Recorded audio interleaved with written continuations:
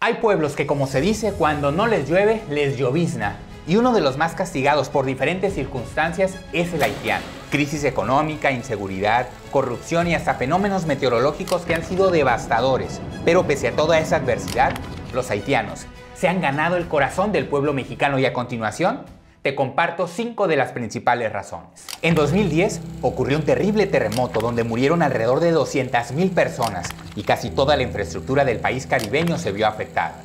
Esto generó una ola migratoria principalmente hacia Brasil, donde necesitaban trabajadores para las obras del Mundial 2014 y los Juegos Olímpicos del 2016. Terminando esos eventos se redujeron los empleos y eso provocó de nuevo un flujo migratorio pero hacia Estados Unidos, donde les permitían el ingreso por razones humanitarias a raíz del terremoto. Sin embargo, un cambio en sus políticas terminaron complicando el acceso de los haitianos a ese país y por ello, muchos terminaron asentándose en México.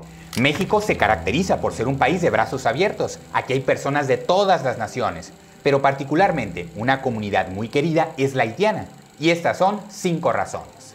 Número 1. Trabajadores. Aunque su intempestiva llegada a México no fue sencilla, rápidamente demostraron que tenían ganas de trabajar en lo que sea. Por eso es común, principalmente en los estados del norte de México, ver haitianos y haitianas en diferentes giros laborales, ya sea urbanos o en aspectos profesionales. Número 2. Cordiales. Característico de los países caribeños y los haitianos no son excepción, suelen ser muy cordiales en su trato. Obviamente y como en todas las culturas, no podemos decir que todos sean así, pero sí la mayoría. Casi siempre son amables, educados y acomedidos, y eso, para alguien que llega a un nuevo lugar, sin duda, le suma muchos puntos.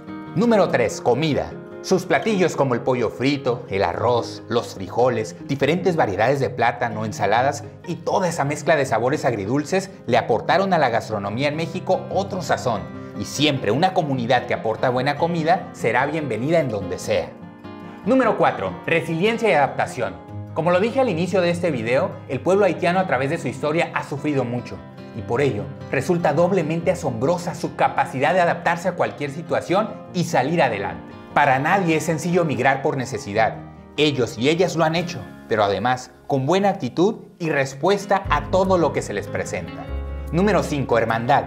Aunque su idioma es el criollo haitiano, su color de piel es distinto al de la mayoría de los mexicanos y sus usos y costumbres también son diferentes, al final hemos hecho una buena hermandad entre los habitantes de este país que lo recibió y los haitianos que han llegado. Por esta y más razones, se han ganado el corazón de todos los mexicanos.